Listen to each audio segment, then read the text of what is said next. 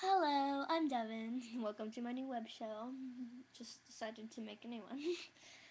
and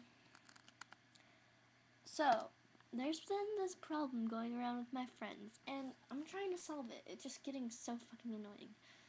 My friend Raina is dating one of my friend Estelle's exes, and there's a group of people that are really pissed at her, and then there's a group of people that she says are her real friends.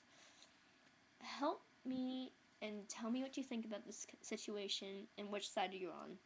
If you're on the side where you think that it's a bad thing that she dated her friend's ex and it hasn't even been that long since her friend and her the guy broke up or if you're on the side where you think it's okay.